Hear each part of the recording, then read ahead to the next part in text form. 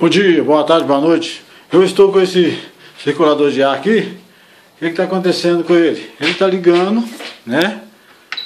Ele está ligando, mas não está circulando, rodando o motor e girando, né? Para circular o ar. Eu vou abrir ele aqui e volto mostrando para vocês onde está o defeito dele, tá ok? Voltei com o vídeo aqui, ó. Vou abrir ele, tá? E vi que realmente o motor está em curto. Né? Eu fiz uma ligação direta né, nele e vi que o motor está em curto. Aqui está rodando normal, tá? Ó, aqui está rodando normal, macio, mas o motor está em curto.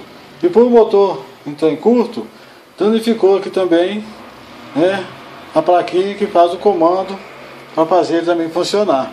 Então vai ter que substituir o motor né, e também fazer manutenção na placa. Né.